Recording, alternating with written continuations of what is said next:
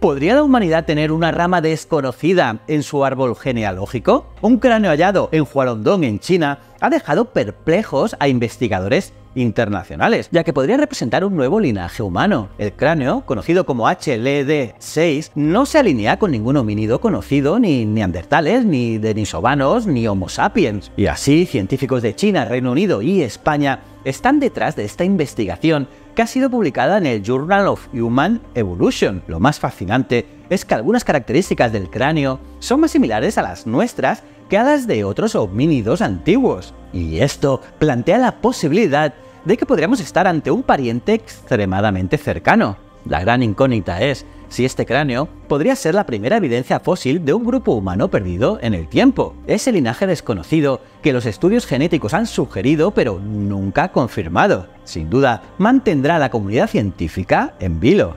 Espectacular.